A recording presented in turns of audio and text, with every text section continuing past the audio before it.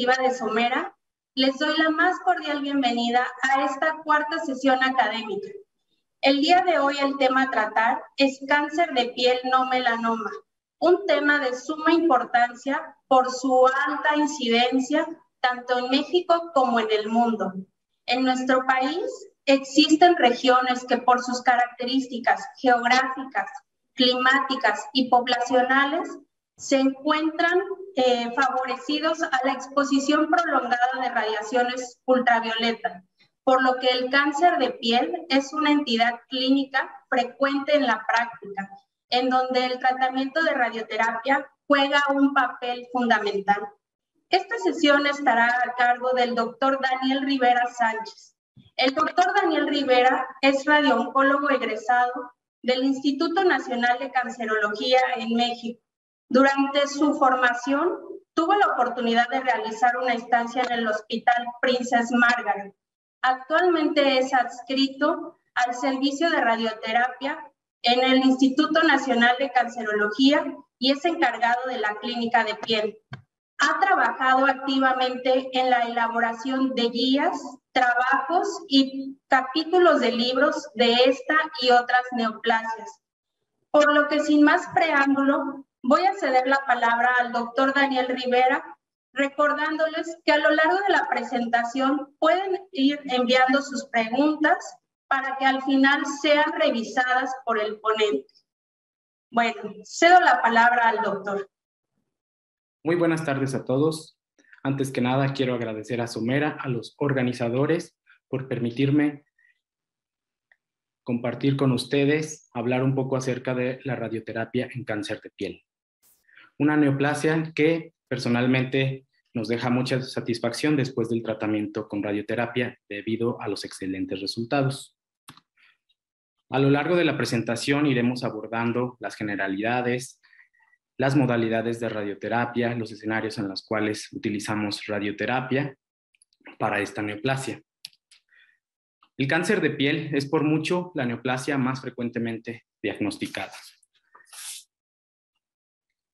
su incidencia es bastante alta, incluso puede superar a los tumores más comunes de forma combinada y su incidencia en algunos países como Australia, Nueva Zelanda o países del norte de Europa va en aumento, sobre todo en poblaciones que estuvieron expuestas durante su juventud a factores de riesgo y que ahora, más adelante, durante la edad avanzada, están desarrollando cáncer de piel.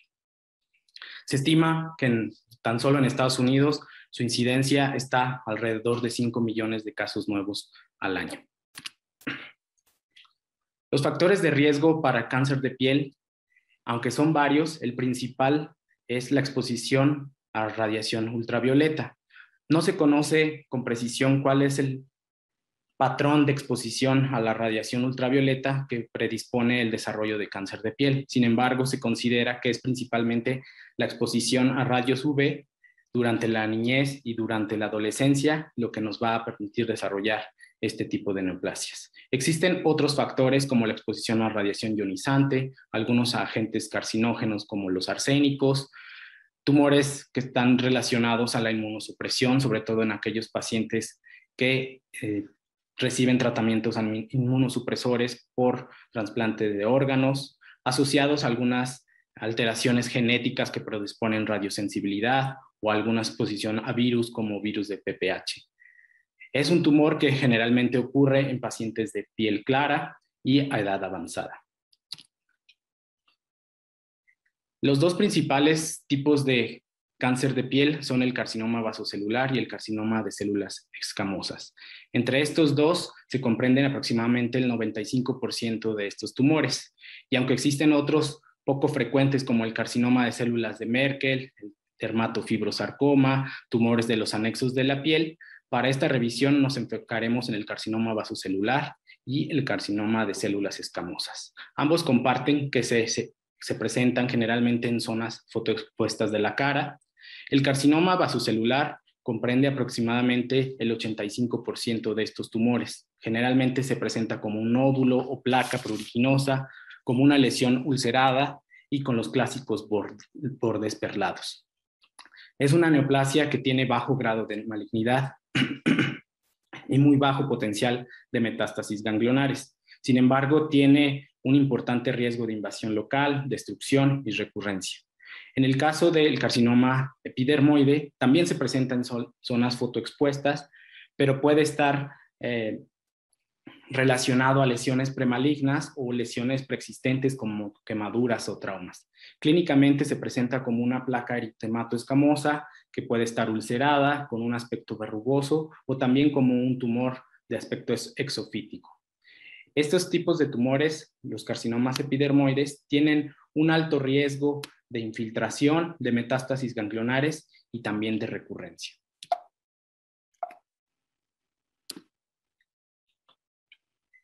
Algunas características clínicas nos permiten evaluar el riesgo en el carcinoma vasocelular y carcinoma epidermoide. Estas características nos permiten determinar si se trata de lesiones de bajo, alto riesgo, que es la clasificación clásica, y más recientemente como también lesiones de muy alto riesgo basados en el riesgo de recurrencia que pudieran tener estas lesiones.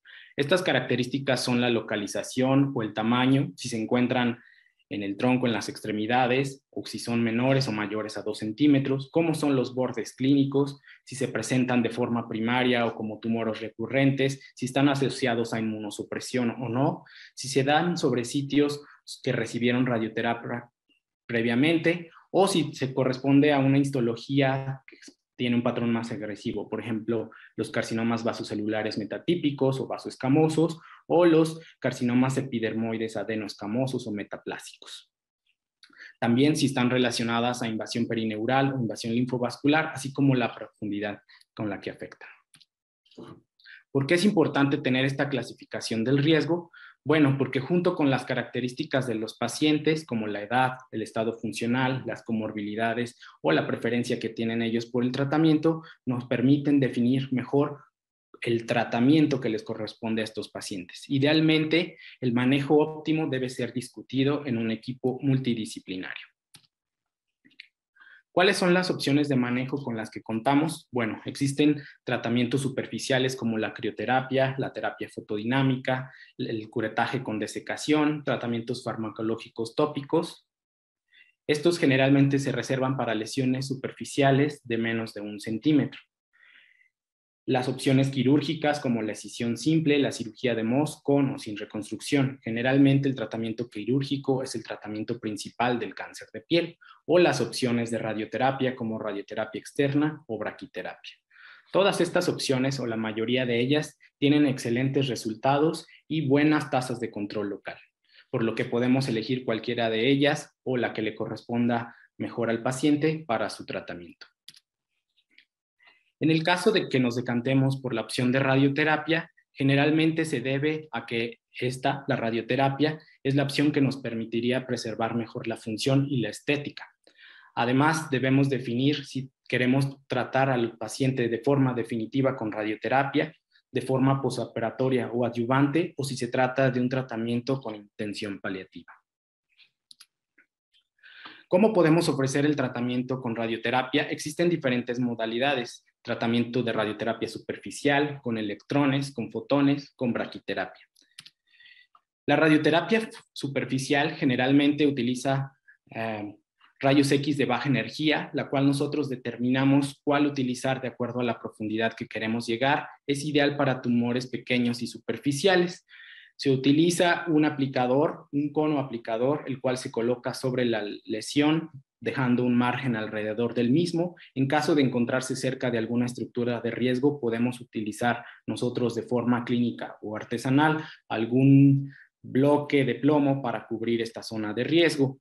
¿Qué ventajas tiene la radioterapia superficial? Bueno, requerimos un margen menor y por ende nos causa menos toxicidad. Debemos apoyarnos del equipo de físicos y también de las tablas de porcentaje de dosis en profundidad para elegir de la manera correcta a qué eh, curva o qué energía debemos utilizar para cubrir estas lesiones. La radioterapia con haz de electrones utiliza los electrones que se producen en los aceleradores lineales de diferente energía. Generalmente se reserva para lesiones superficiales o que tienen una profundidad mayor a las lesiones que están propiamente sobre la piel. Y para lograr esto necesitamos bolus o moldes que nos ayudan a llevar la piel, eh, la dosis, perdón, a la piel, a la superficie.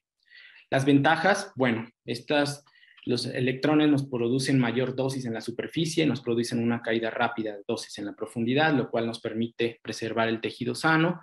Y aunque se puede utilizar desde campos pequeños, se recomienda que sean de al menos 4 por 4 centímetros. También podemos utilizar fotones, aceleradores lineales que producen fotones y energía según se requiera. Generalmente utilizamos bolus y se reserva el uso de fotones generalmente para tumores cutáneos localmente avanzados que invaden tejidos profundos, sobre todo los, aquellos que invaden hacia el hueso, a cartílago, o que son tumores más extensos o que requieren incluso irradiación de regiones ganglionares.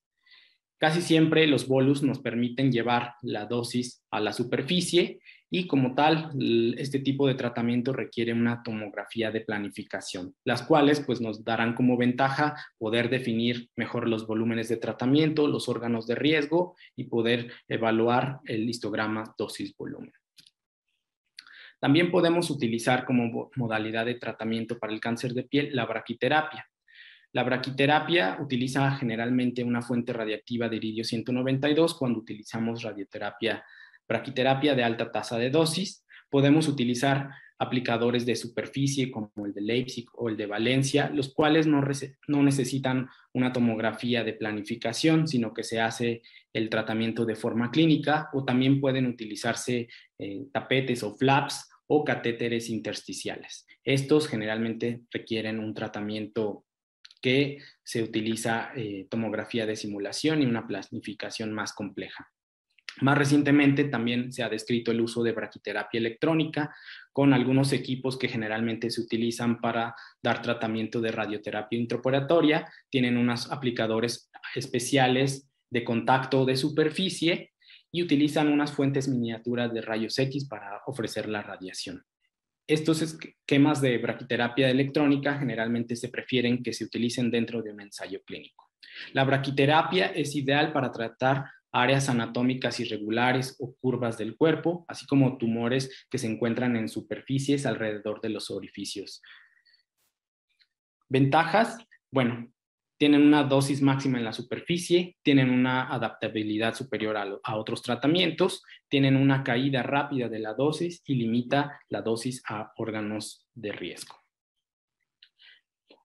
En realidad, la mayoría de las planeaciones de radioterapia en cáncer de piel se hacen de forma clínica. Definimos la lesión y le damos un margen de acuerdo al tamaño, de acuerdo a la histología, de acuerdo a la modalidad de tratamiento que estamos utilizando. En general, para carcinoma vasocelular es de 0.5 a 1 centímetro y para carcinoma epidermoide de 1 a 2 centímetros. Incluso hay algunos estudios que han tratado de evaluar de forma más específica cuál sería el margen recomendado para este tipo de lesiones.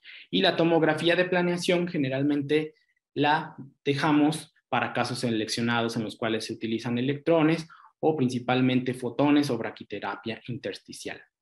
Debido a que la mayoría de las planificaciones de estos tratamientos se hacen de forma clínica, hay algunos centros en el mundo que están tratando de utilizar, aunque no de forma rutinaria, algunos estudios de imagen como el ultrasonido de alta frecuencia o la tomografía óptica de coherencia que nos permiten definir mejor la lesión sobre la piel. También nos permiten evaluar la respuesta y durante el seguimiento para este tipo de tumores. Cuando decidimos dar tratamiento definitivo con radioterapia, generalmente se reserva para los pacientes que son por alguna causa inoperables, que tienen alguna comorbilidad y no pueden ser llevados a cirugía, que tienen tumores irresecables, en donde se propone un tratamiento quirúrgico a los pacientes, pero estos lo rechazan, o más comúnmente debido a que la radioterapia sería el tratamiento que más posibilidades de preservar la función o estética por la localización de los tumores nos permite. Estas localizaciones son para tumores que se encuentran en el labio, en el párpado, en el pabellón auricular o en la punta nasal. El objetivo de la radioterapia definitiva o primaria es la curación del tumor con la máxima preservación de la función y la estética. ¿Qué ventajas tiene este tipo de tratamiento? Bueno, es un tratamiento ambulatorio que generalmente puede darse en cursos cortos o cursos prolongados. Es un tratamiento que no tiene complicaciones quirúrgicas como cicatrices, las complicaciones de los injertos, entre otras. Es un tratamiento muy eficaz con unas tasas de respuesta y control local por arriba del 90-95%. Es un tratamiento bien tolerado, aun cuando se irradian grandes superficies y en las cuales podemos tener toxicidad aguda autolimitada e incluso una toxicidad crónica que podemos predecir desde antes de ofrecerla.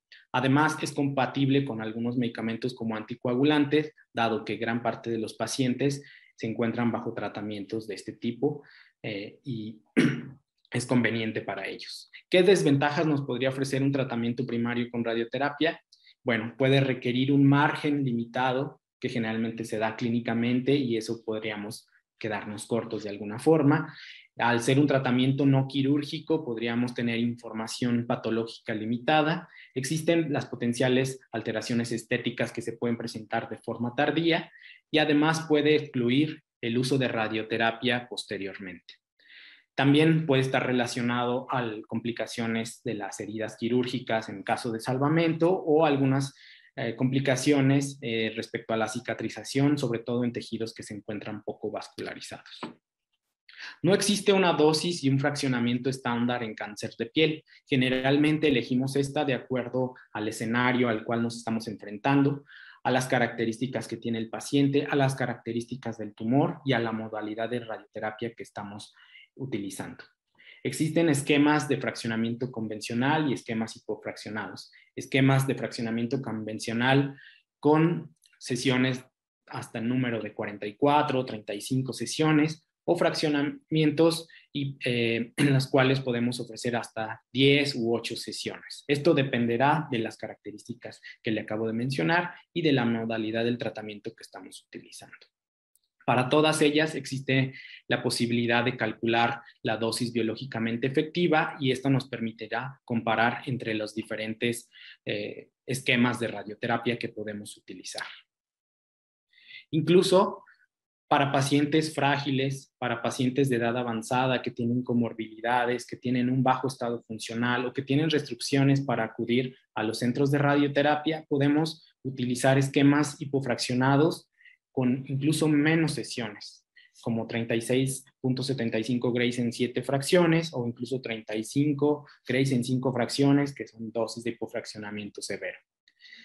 Para ello, no solo debemos utilizar la edad como uno de los factores que determina utilizar este tipo de fraccionamientos. Debemos también tomar en cuenta las características que les acabo de mencionar, como morbilidades, el estado funcional, las restricciones o alguno de los otros factores que pudiera limitar la posibilidad o la conveniencia para que el paciente pueda acudir a recibir su tratamiento. Independientemente de la dosis, del fraccionamiento y de la modalidad de radioterapia definitiva empleada, se puede observar en esta tabla, como les remarco aquí, que el control local con radioterapia primaria es muy bueno. Ofrece tasas por encima del 90 al 95% cuando se utiliza de forma definitiva, de igual forma, la braquiterapia primaria ofrece tasas de control local incluso un poco superiores, por encima del 95%. Estos resultados se han evaluado en algunos metaanálisis, los resultados de radioterapia externa definitiva y braquiterapia definitiva, comparado incluso con los resultados que ofrece el estándar, que sería el tratamiento quirúrgico. Y como observamos acá, las tasas de recurrencia, las tasas de control local son muy buenas, son excelentes tasas de control local que incluso podemos comparar con el tratamiento estándar que es la cirugía o la cirugía de voz. Generalmente ofrecemos tratamiento a únicamente el GTB, a la lesión primaria, con cierto margen. Sin embargo, existen casos en los cuales debemos considerar irradiar de forma electiva el primer relevo ganglionar.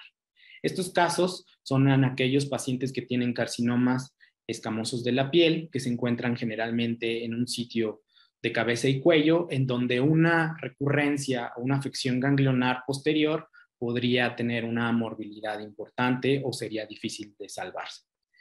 Estas características que debemos tomar en cuenta pues, son precisamente carcinomas epidermoides de la piel, tumores recurrentes, tumores que son mal diferenciados, que tienen invasión perineural, que miden más de 2 centímetros, que tienen una profundidad de afección mayor a 6 milímetros, que tuvieran márgenes positivos o asociados a inmunosupresión. Ofrecer radioterapia ganglionar electiva nos confiere mejor control regional y generalmente se prefiere que se dé este tipo de tratamiento electivo al primer relevo ganglionar, que a nivel de cabeza y cuello puede corresponder a los ganglios parotídeos, a los faciales, a los retroauriculares, a los occipitales o a los cervicales. Y se prefiere o se recomienda que se haga cuando la lesión primaria y el sitio electivo o el primer relevo ganglionar se encuentran adyacentes o muy cercanos para evitar irradiar sitios distintos o con una toxicidad mayor. Desafortunadamente, no todas las lesiones tienen los buenos resultados que le acabo de mostrar. Muchos de ellos, algunos de ellos se presentan como enfermedad locorregional avanzada con tumores T3, T4 de gran extensión o con enfermedad ganglionar eh, positiva. Generalmente están asociados a tumores pobremente diferenciados, a tumores recurrentes con invasión perineural, con invasión linfovascular en inmunosupresión. Las opciones de tratamiento con las cuales contamos para este tipo de enfermedad locorregional avanzada son ya sea la cirugía sola o la radioterapia sola. Generalmente la radioterapia sola, como observamos en esta tabla, tiene resultados eh, moderados y va a depender sobre todo de la histología y del estado de la T. Generalmente los tumores entre más avanzados sea la T tienen una respuesta mucho peor al tratamiento con radioterapia. Incluso para alguno de ellos, de estos casos, podemos utilizar quimio-radioterapia concomitante y, como vemos aquí, tienen unas tasas de control locorregional pues modestas. Parece ser que el tratamiento quirúrgico más radioterapia adyuvante es lo ideal para este tipo de casos. Otro de los escenarios en los cuales utilizamos radioterapia es en el escenario posoperatorio, que generalmente lo reservamos para aquellos casos en los cuales se encuentran márgenes cercanos, márgenes positivos, que son tumores recurrentes, tumores localmente avanzados o que tienen invasión perineural o enfermedad ganglionar positiva. En el caso de márgenes positivos o cercanos, debemos considerar el uso de radioterapia adyuvante cuando no es posible o no es factible la rescisión. Ofrecer radioterapia adyuvante en este caso nos permite aumentar la supervivencia libre de recurrencia, comparada con cirugía sola. Sin embargo, debemos tener en cuenta que la mejor radioterapia no sustituye a una buena cirugía. En el caso de tumores recurrentes, también se recomienda el uso de radioterapia adyuvante debido al alto riesgo de presentar una nueva recurrencia en estos casos. Como observamos aquí, la supervivencia libre de recurrencia es mucho menor cuando los tumores son recurrentes y existe un riesgo hasta casi siete veces mayor de presentar una segunda recurrencia en este tipo de tumores. Por lo tanto, hay que ofrecer radioterapia adyuvante. Uno de los escenarios en donde más evidencia o mejor documentado se tiene el uso de radioterapia adyuvante es la enfermedad ganglionar positiva, ya que esta nos permite mejorar el control locorregional y la supervivencia libre de enfermedad, como observamos en estas series.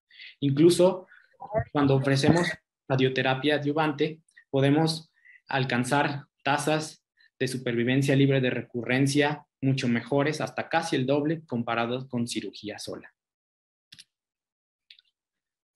Para las diferentes características de alto riesgo, cuando se ofrece radioterapia adyuvante podemos alcanzar una mejor supervivencia, sobre todo cuando hay invasión perineural o enfermedad ganglionar positiva. Como observamos en esta tabla, los pacientes que tienen tumores de localización periorbitaria, invasión perineural positiva o enfermedad ganglionar N2 tienen una peor supervivencia libre de enfermedad. Los pacientes con inmunosupresión y con enfermedad N2 tienen incluso una peor supervivencia global, pero ofrecer radioterapia adyuvante permite que estos casos tengan una mejoría en la supervivencia. Es por eso que se debe tomar en cuenta dar radioterapia posoperatoria cuando hay enfermedad ganglionar positiva o alguna de estas características. La excepción sería que aquellos pacientes que tengan enfermedad ganglionar N1, es decir, en un solo ganglio ipsilateral menor de 3 centímetros, podría omitirse el uso de radioterapia posoperatoria. La invasión perineural, como acabamos de ver, es un hallazgo patológico que está asociado a un peor desenlace. La invasión perineural se define como la presencia o invasión por células tumorales en, alrededor o a través de un nervio periférico. Se ha tratado de clasificar la invasión perineural de acuerdo a la localización que tiene en, la estructura del nervio, ya sea de tipo externa, intermedia o que incluso se encuentra intraneural. Sin embargo, esta clasificación no se realiza de forma rutinaria en la práctica clínica. Aunque es poco frecuente, la invasión perineural puede llegar a ocurrir entre un 5 o hasta un 14% de los carcinomas de células escamosas principalmente. También puede ser encontrado en los carcinomas vasocelulares. Y su presencia está relacionada a mayor riesgo de recurrencia y mayor morbimortalidad. Además de que es peor cuando se encuentra de forma clínica que cuando se encuentra de forma incidental. El patrón de diseminación en la invasión perineural está determinado por la localización del tumor primario. Para los tumores que se encuentran en la región frontal, el nervio trigémino es el más afectado, generalmente B1. Para los tumores que se encuentran centrofaciales, B2. Para los tumores que se encuentran en el mentón o el labio inferior, B3. Y para los tumores que se encuentran en la región temporal, generalmente el nervio afectado es el nervio facial. Por lo tanto, los escenarios en los cuales debemos considerar radioterapia adyuvante, de acuerdo a varios autores, coinciden en que son la invasión perineural microscópica extensa, cuando hay involucro a nervios de mayor calibre, como son los de igual o más de 0.1 milímetros, cuando hay evidencia clínica o radiológica de invasión perineural. Incluso se puede considerar no ofrecer radioterapia adyuvante cuando hay inversión, invasión perineural nervios de pequeño calibre, es decir, nervios de menos de 0.1 milímetros. También podemos considerar la radioterapia en el escenario definitivo cuando se cuenta con información clínica que nos habla de que existe invasión perineural, ya sea radiológica o clínicamente. La dosis, la cobertura, los volúmenes, el sentido en el cual vamos a cubrir eh, la invasión perineural está dada por recomendaciones de experto. Generalmente las dosis intermedias se reserva para la invasión perineural microscópica, dosis más altas para cuando hay márgenes positivos a nivel de los nervios o cuando hay enfermedad macroscópica o clínicamente demostrada, también debemos utilizar dosis más altas. La cobertura si solo hay enfermedad microscópica focal, podemos solo dar tratamiento al lecho tumoral, pero si hay una invasión perineural extensa o algún nervio de mayor calibre, podemos incluir el lecho y los trayectos nerviosos de forma electiva. Generalmente, eh, a partir de la lesión primaria, se cubre el volumen en sentido retrógrado hacia la base del cráneo de forma estándar. Y solo en el caso de evidencia más allá de la lesión primaria podemos incluir de forma anterógrada eh, algunos volúmenes a tratar. en algunos casos incluso también consideramos dar adyuvancia con tratamiento concomitante a base de quimio-radioterapia. Sin embargo, de acuerdo a estudios recientes, no hay beneficio al ofrecer este tratamiento combinado. Como observamos aquí, aunque hubo una ligera tendencia a mejorar la falla locorregional, en el análisis estadístico no existió una diferencia en la supervivencia libre de falla región, locorregional a 2 y 5 años al ofrecer radioterapia o quimioradioterapia.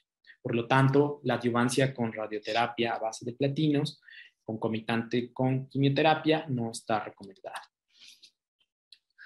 Desafortunadamente, en algunos casos que no son tan infrecuentes, tenemos que ofrecer radioterapia paliativa para mejorar la calidad de vida, sobre todo en pacientes que tienen dolor, sangrado, ulceración, secreción, olor o simplemente porque tienen estrés psicosocial que les causa una lesión a nivel de cabeza y cuello que está expuesta a las demás personas. Por lo tanto, debemos utilizar una estrategia de radioterapia que sea costo efectiva. Para ello, debemos tomar en cuenta que estas estrategias o estos esquemas de radioterapia que vamos a utilizar en la paliación deben ser tratamientos eficaces, es decir, que tengan buenos resultados, que sean tratamientos cortos, de preferencia que sean de menos de 15 fracciones y que por supuesto estén asociados a baja toxicidad, porque lo que menos queremos es que estos tratamientos paliativos sean muy tóxicos con los pacientes. Podemos utilizar esquemas de 30 grays en 10 fracciones, 30 grays en 6 fracciones, 35 en 5, 24 en 3 fracciones, incluso esquemas paliativos tan cortos como 20 grays en una sola fracción. El control de síntomas con cualquiera de estos esquemas está alrededor del 60 al 80%. Y bueno, ¿cómo es la toxicidad y la estética después de ofrecer un tratamiento con radioterapia? En realidad, la mayoría de nuestros pacientes van a presentar toxicidad como radiopitelitis grado 1, grado 2, que generalmente se autolimita o requiere algún tipo de medidas generales o algún manejo tópico sencillo para mejorar la toxicidad aguda. La toxicidad crónica, por supuesto, eh, va a ser difícil de revertir, pero ¿cómo son los resultados ya evaluados? La mayoría de los pacientes reportan que después de recibir radioterapia, ya sea con radioterapia externa o braquiterapia, tienen un muy buen resultado estético. Incluso puede ser comparado al resultado estético que confiere el tratamiento estándar, que sería la cirugía. Con radioterapia externa está alrededor de un buen resultado estético del 80%.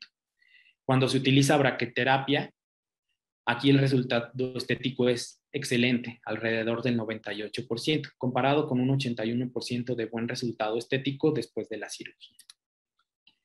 En este estudio se compararon la estética que produjo el tratamiento con braquiterapia versus la radioterapia externa. Y en este metaanálisis, el metaanálisis de Scribe, lo que se pudo evaluar es que para esquemas de radioterapia que tienen una vez para tejido sano de alrededor de 80 grays, no hubo una diferencia en cuanto a la estética buena reportada por los pacientes. No hubo una diferencia estadísticamente significativa. Sin embargo, cuando estos esquemas empleados correspondían a una vez para tejido sano entre 100 a 120, los pacientes que fueron tratados con braquiterapia sí tuvieron significativamente una mejor un mejor resultado estético comparados con los que recibieron radioterapia externa. 95% de buen resultado estético para braquiterapia comparado con 80% para los pacientes que recibieron radioterapia externa, 99% cuando el BED fue de 120 para braquiterapia y de 68% para radioterapia externa. Por lo tanto, debemos tomar esto en consideración.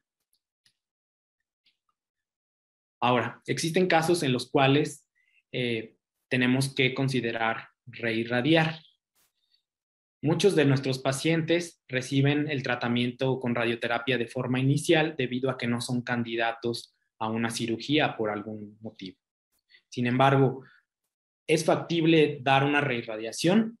Al parecer sí es factible, pero con alto riesgo de toxicidad. En este estudio de la Universidad de Washington, el doctor Carlos Pérez eh, encontró en pacientes que se reirradiaron, un segundo curso de, radioterapia, encontró que hubo un mejor resultado estético cuando había un BED acumulado de menos de 110 grays. Por lo tanto, él recomienda que siempre debemos evaluar el BED acumulado para identificar si las dosis con las cuales estamos reirradiando al paciente, sumada con la del primer curso de radioterapia, se mantiene por debajo de este nivel y eso nos permitiría tener un mejor resultado estético.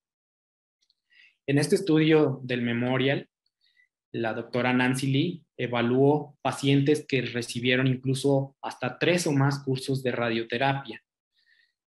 Estos pacientes tuvieron una toxicidad importante, muy importante con hasta un tercer curso de radioterapia. Toxicidades grado 3 de 45% y grado 4 del 21%, aunque no hubo muertes relacionadas al tratamiento. Algo que es muy importante detallar es que la intención con la cual se ofreció un segundo o hasta un tercer curso de radioterapia fue una intención paliativa. Por lo tanto, aunque es factible, eh, el reirradiar tiene un alto riesgo de toxicidad y debe discutirse el riesgo-beneficio y, en dado caso, manejarse de forma multidisciplinaria. Ya para esta última parte de la sesión, me gustaría compartir con ustedes los resultados que nosotros hemos observado en el Instituto Nacional de Cancerología al ofrecer eh, tratamiento con electrones con dosis de 35 grays en 5 fracciones para pacientes de edad avanzada que por alguna razón tenían dificultad para acudir al centro de radioterapia. Es decir, no podían acudir con nosotros porque tenían alguna comorbilidad, no podían ser llevados al centro de radioterapia o tenían un estado funcional malo que les impedía acudir a recibir su tratamiento. Nosotros evaluamos cuáles fueron los resultados a un año. El control local de forma global fue del 86% en 49 pacientes con cáncer de piel vasocelular o epidermoide T1 a T3. Los resultados en cuanto a la supervivencia libre de recurrencia estuvieron definidos por el estado de la T. Aquellos pacientes que tenían T1 tuvieran un control local a un año del 100%. Los pacientes que tenían T2 tuvieron un control local a un año del 92% y aquellos pacientes con un estado de T mayor, T3, tuvieron un control del 57%. Aunque no hubo una diferencia estadísticamente significativa, sí vemos aquí que hubo una tendencia a que los tumores epidermoides tuvieron una menor supervivencia libre de recurrencia comparado con aquellos pacientes con carcinoma vasocelular. Por lo tanto, nosotros vemos conveniente en casos específicos y bien analizados en donde la edad y otros factores impiden que los pacientes eh, vayan a recibir su tratamiento y que podemos utilizar estos hipofraccionamientos severos de forma segura, porque, como observamos aquí, no observamos toxicidad grado 3 o mayor en ninguno de los casos que tratamos. Ahora me gustaría compartir con ustedes algunos de estos casos. Este es un paciente de avanzada que tenía un tumor epidermoide de la piel cabelluda, un tumor T1 que fue tratado con 35 grays en 5 fracciones y como observamos acá, el resultado estético es muy bueno y pues clínicamente no hay evidencia de actividad tumoral. Esta paciente tenía las mismas características, un tumor, en este caso localizado en el ala nasal derecha, un tumor vasocelular pigmentado, que después del tratamiento tiene un buen resultado estético y clínicamente sin datos de actividad tumoral. Quedó una zona hiperpigmentada, probablemente asociada a los cambios que tuvo previamente por el tumor. Este es otro eh, tumor vasocelular en una paciente también yañosa, un vasocelular de la piel del labio superior con extensión hacia la región del surco nasogeniano y después de recibir este esquema de 35 grays 5 fracciones, clínicamente sin datos de actividad tumoral y con una buena estética. Únicamente quedó una zona de, con una cicatriz con una región hipopigmentada. Este paciente tenía dos lesiones de un carcinoma epidermoide, una en el ala nasal izquierda y otra en la piel del labio inferior del lado izquierdo. Recibió el tratamiento, tuvo una excelente respuesta y un excelente resultado estético, como podemos observar. Este paciente era un paciente que para el caso que, estamos hablando de hipofraccionamientos eh, de 35 grays en 5 fracciones con ciertas limitaciones. Era un paciente con un vaso celular de larga evolución de la región nasal y otra del párpado inferior derecho, que era llevado por sus vecinos. Entonces no tenía el paciente posibilidades de acudir por cuenta propia, mucho menos a un esquema de radioterapia mucho más prolongado. Decidimos darle este tratamiento, tuvo una excelente respuesta clínica y resultado cosmético favorable. ¿Cuándo debemos evaluar la respuesta después de un tratamiento definitivo? Bueno, la respuesta clínica generalmente se evalúa entre las 8 a 12 semanas después de recibir el tratamiento con radioterapia. En los casos que consideremos pertinentes, debemos solicitar estudios de, de, imagen como tomografía o resonancia magnética para evaluar la respuesta. El seguimiento en estos pacientes eh, es muy importante después del tratamiento definitivo, después de la adyuvancia. ¿Por qué? Porque si hay recurrencia, hasta el 30, 50% o hasta el 66% de los casos ocurren en el primero o segundo, hasta incluso el tercer año, respectivamente. Es muy importante que durante el seguimiento y después del tratamiento se les brinde información a los pacientes para tratar de eh, recalcarles la importancia de las medidas generales, de la autoexploración de toda la piel para detectar lesiones nuevas y sobre todo recomendar medidas de fotoprotección. Tampoco debemos olvidar que existen algunas contraindicaciones de radioterapia, sobre todo en pacientes que tienen condiciones genéticas que predisponen radiosensibilidad, como son el geroderma pigmentoso, el síndrome de Gorlin-Goltz o el síndrome de Li-Fraumeni. Y es una contraindicación relativa ofrecer radioterapia en pacientes que tienen enfermedad que se encuentra activa enfermedad del tejido conectivo, como es el lupus o escleroderma. Sin embargo, estos pacientes, si llegan a estar en, control de la enfermedad, puede ofrecerse el tratamiento sin ningún problema. Ya para finalizar, pues bueno, la radioterapia es parte fundamental en el manejo del cáncer de piel, puede ocupar el lugar de la cirugía en casos inoperables, cuando se desea preservar la función y la estética o por preferencia del paciente. La radioterapia posoperatoria nos permite mejorar la supervivencia libre de recurrencia y aunque no existe un esquema de radioterapia estándar, debemos determinar la dosis, el fraccionamiento de acuerdo al paciente, al escenario, a las características del tumor y a la modalidad de radioterapia empleada. La mayoría de los esquemas ofrecen muy buenos resultados oncológicos y estéticos. Muchas gracias por su atención.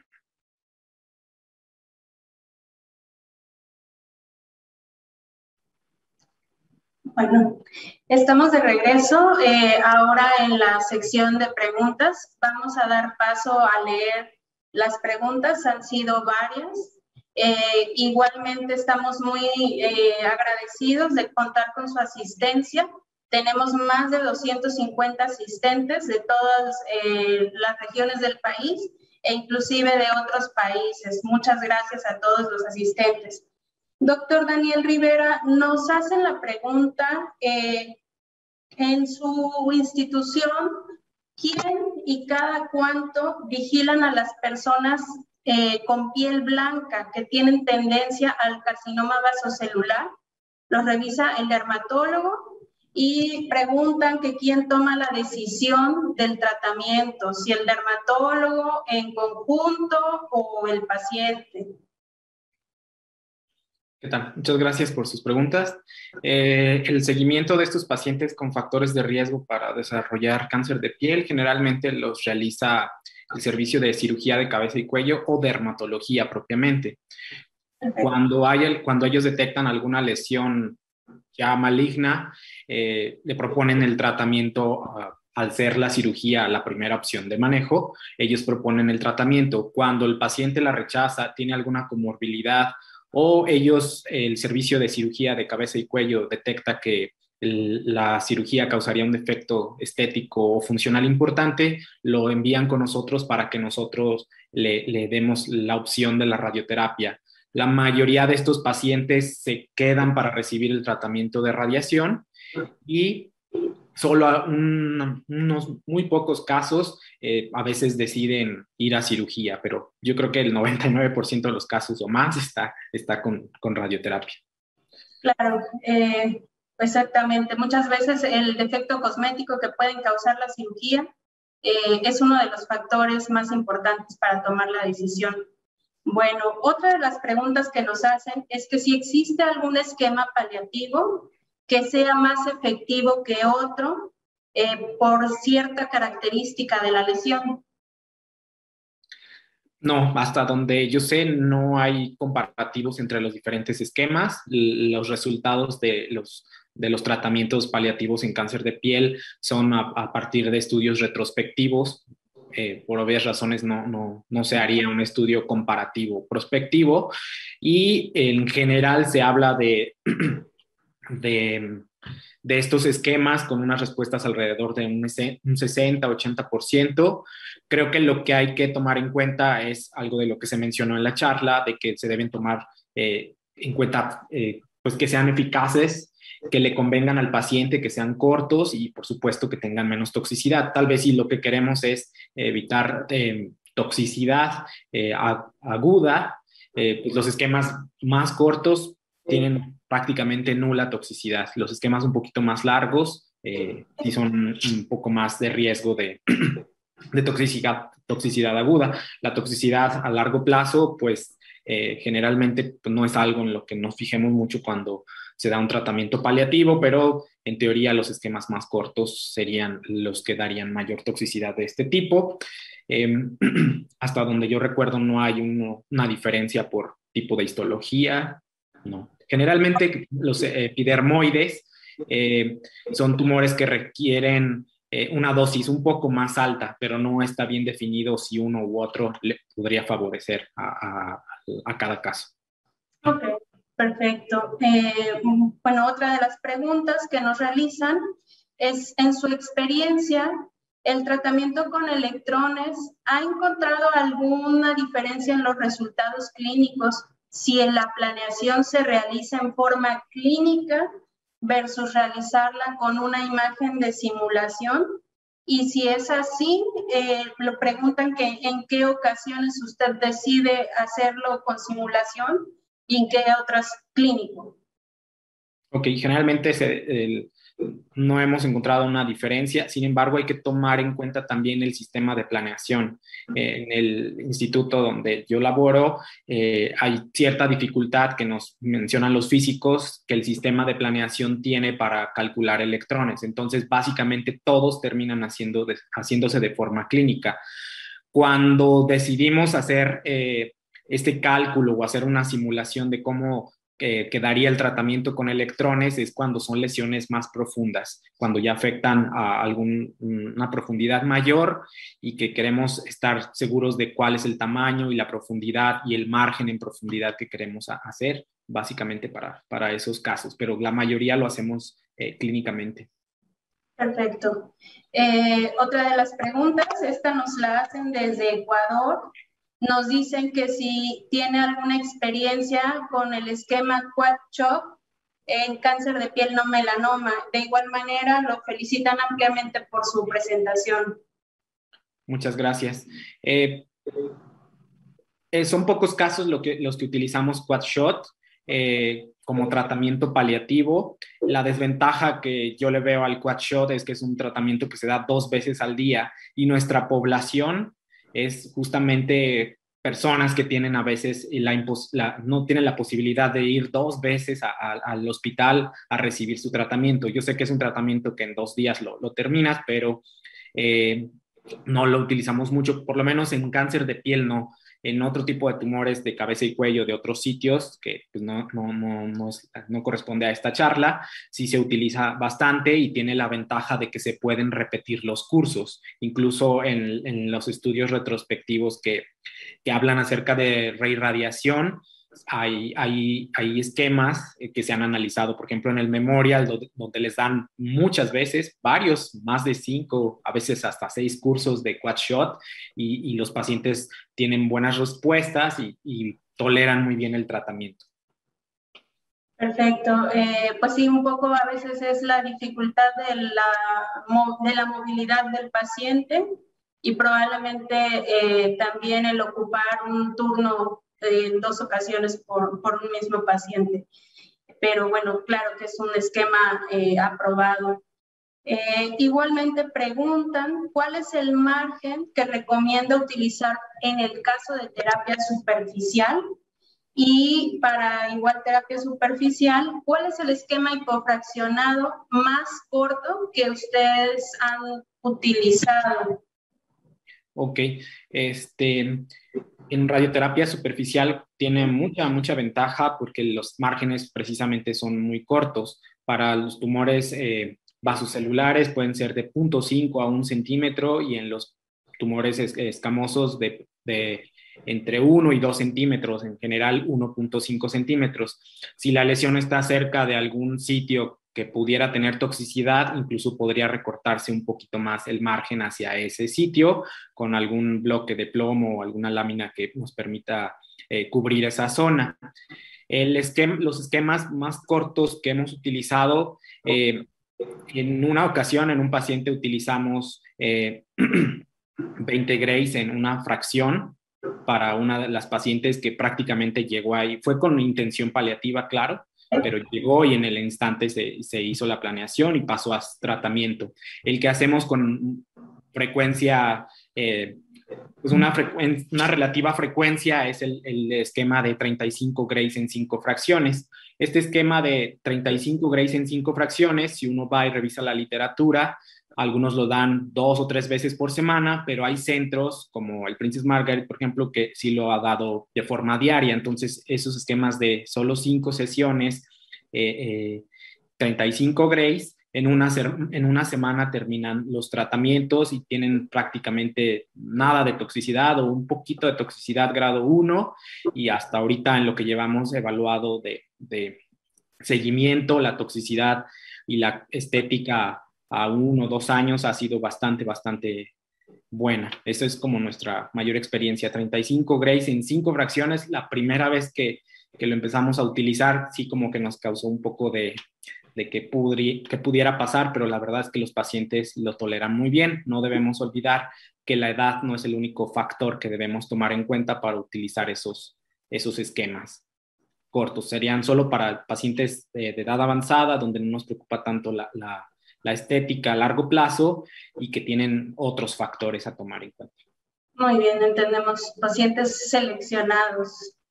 Eh, bueno, preguntan de igual manera que en el esquema de 35 grays en 5 fracciones, ¿cuáles son los márgenes al CTB y al PTB que se utilizan?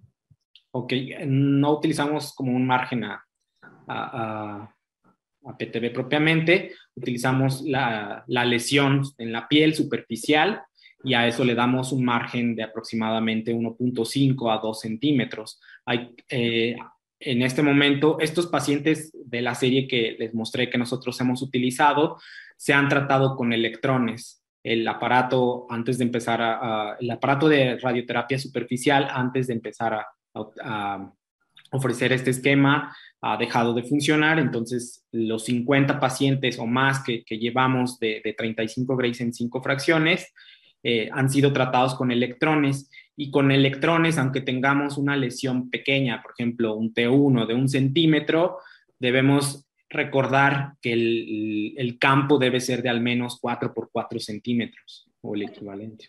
No pueden ser campos tan pequeños, sino después habrá una, cuestión ahí eh, física y dosimétrica en, en, la piel. Muy bien.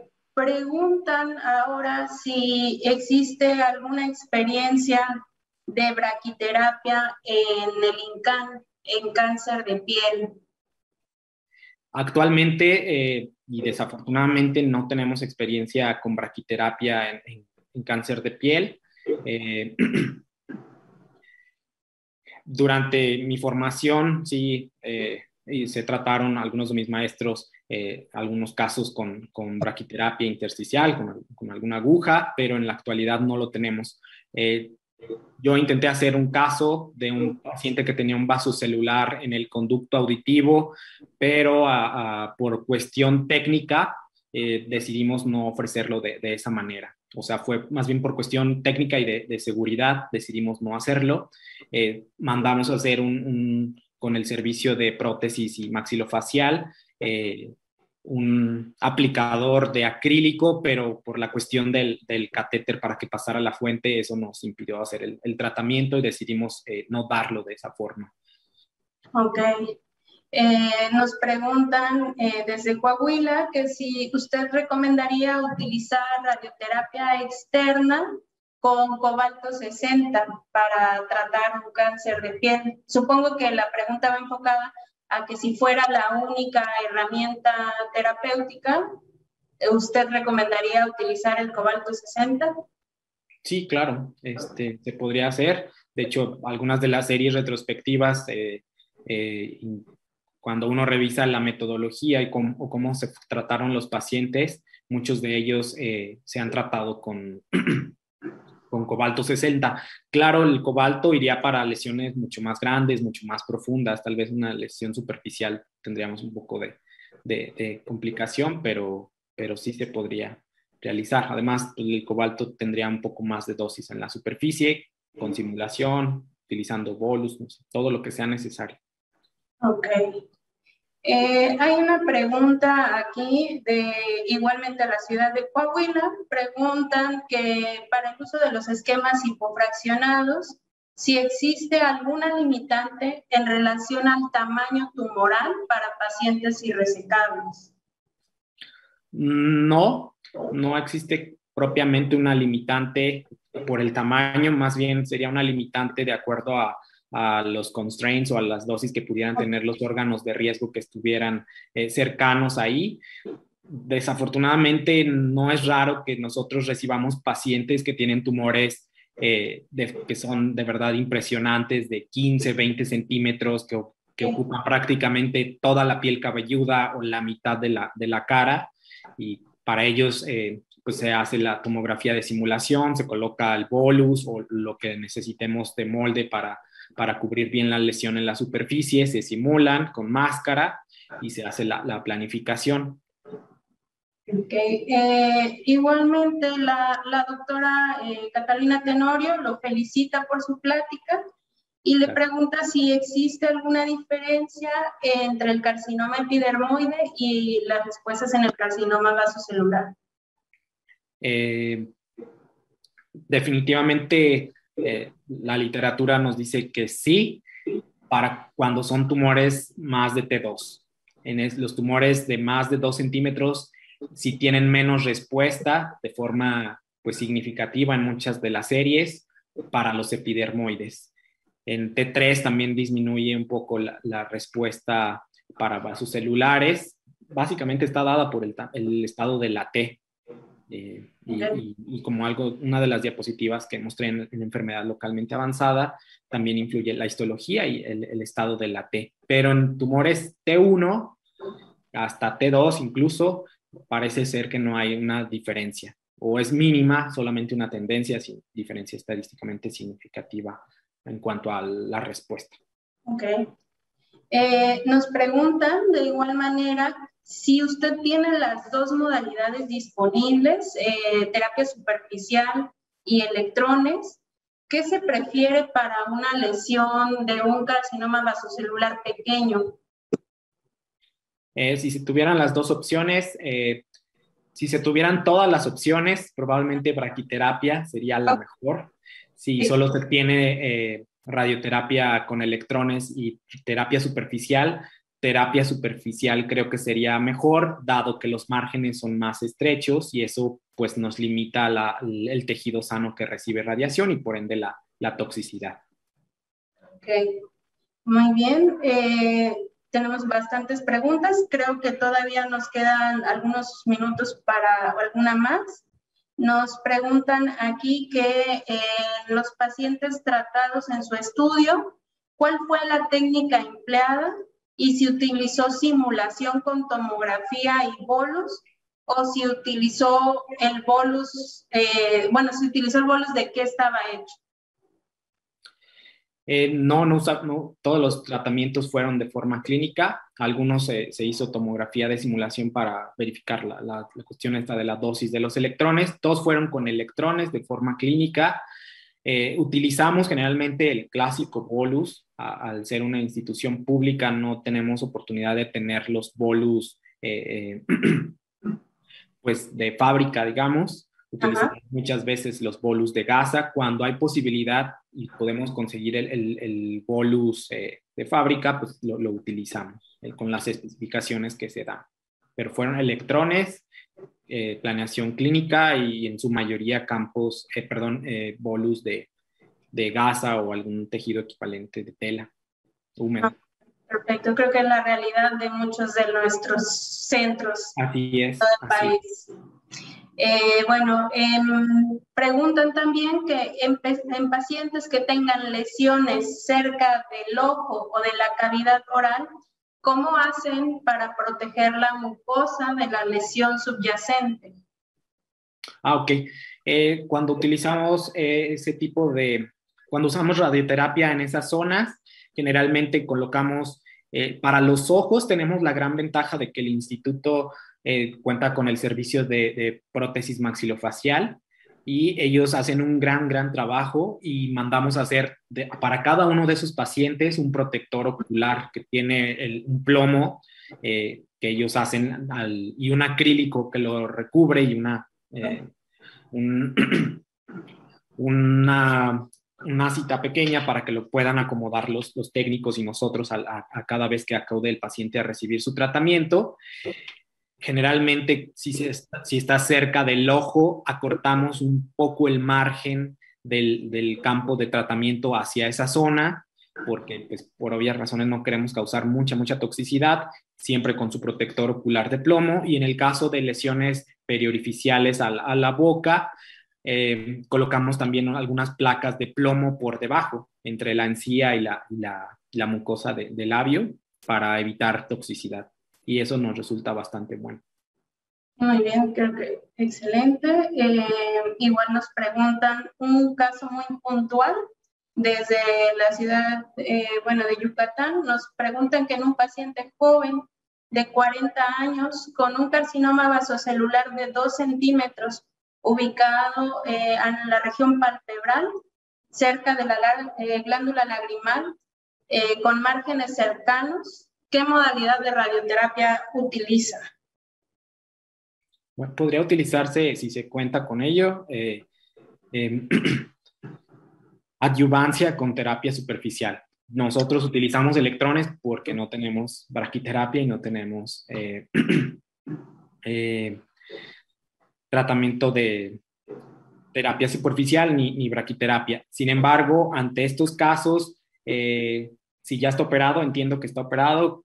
Sí, parece está operado. lo ideal, lo ideal, lo ideal es siempre valorar por el equipo quirúrgico, el equipo multidisciplinario, una rescisión, porque con márgenes cercanos o positivos aunque le demos la mejor modalidad de radioterapia, no va a sustituir a una buena cirugía. Ok, muy bien. Y creo que eso también es importante. La siguiente pregunta nos la hacen más acerca de la toxicidad.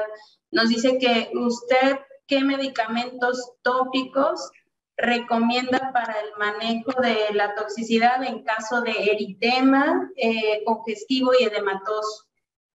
Si sí, solamente, diferencia si solamente hay toxicidad grado 1, la verdad es que medidas generales, eh, eh, hidratación en la zona que se pone eritematosa, si ya hay una toxicidad con características grado 2, algún esteroide que puede ser de baja, intermedia o alta potencia, en general algún esteroide tópico durante una o dos semanas y es suficiente. La verdad es que la toxicidad es... Eh, siempre ocurre, o la mayoría de las veces ocurre, yo creo que en el 95% más de los casos, pero es bastante limitada, uno o grado 2.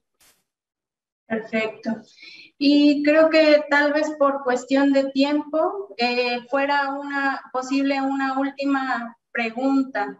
Eh, lamentablemente existen muchísimas todavía.